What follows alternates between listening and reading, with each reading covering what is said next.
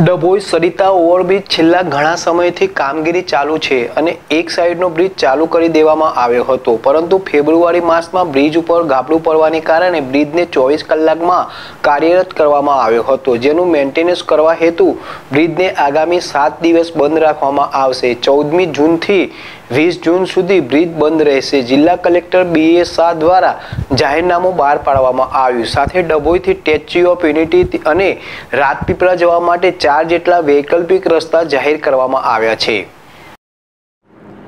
Dabhoi Sarita overbridge બન્યો ત્યારથી વિવાદમાં છે. ફેબ્રુઆરી માસમાં ગાબડું પડતા બ્રિજની કામગીરી પર સવાલ ઊભા થયા હતા. તો બ્રિજ બન્યા બાદ એક તરફ બ્રિજ ઉપર બંને સાઈડના વાહન વ્યવહાર શરૂ કરી દેવાયો છે. તો બીજી સાઈડનું કામ હજી ચાલુ છે. ત્યારે ડભોઈ સરિતા ઓવરબ્રિજને આગામી સાત દિવસ માટે મેન્ટેનન્સ કામગીરી અર્થે બંધ રાખવા જિલ્લા કલેક્ટર બી એ શાહ દ્વારા જાહેરનામું પ્રસિદ્ધ કરવામાં આવ્યું છે.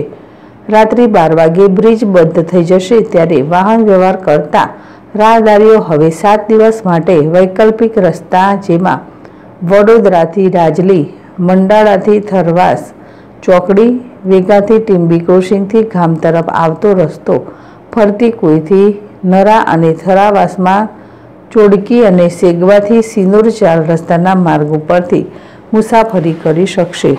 બ્રિજનું કામગીરી પૂર્ણ થઈ બ્રિજ પુનઃ શરૂ કરવામાં આવશે. વિજય બારોટ, જેડેશ ટીવી, ડભોઈ.